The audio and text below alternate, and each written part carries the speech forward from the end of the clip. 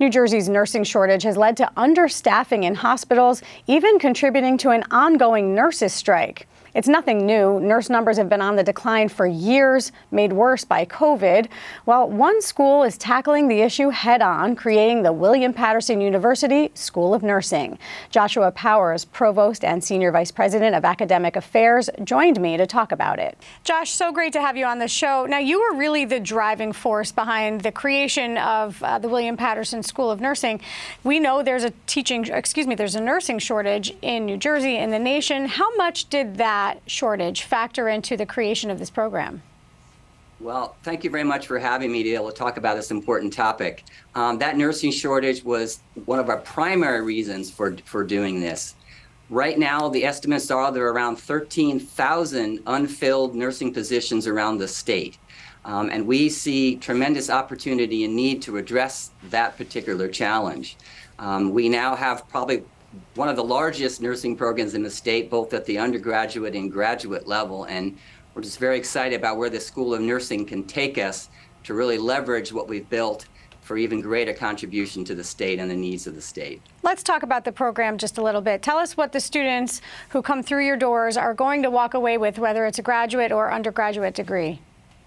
Sure. Well, there's a couple things important to keep in mind. Uh, first of all, one of the ways we've built our the tremendous expansion has been on uh, through our WP Online. So we launched a series of programs actually right at the start of the pandemic.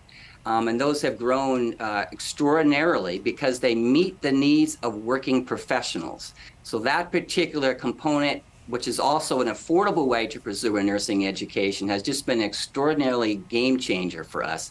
And the School of Nursing and the partnerships we've developed around it are going to be able to allow us to leverage that some more, particularly in perhaps some of the allied health professions.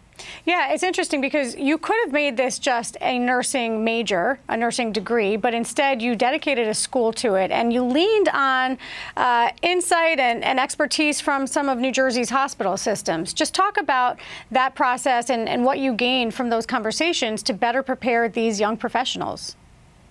Sure. Well, as uh, uh, anybody in the nursing area recognizes, the partnerships with area health providers is critical, in part because of the need for clinical sites where students can go have an opportunity to learn with with in, in the hospital and all the things that go along with that. So we have very strong relationships, for example, right here in Wayne with St. Joseph's uh, Hospital System. It's been an incredible, incredible partner with us. Atlantic Health System's been another partner with us.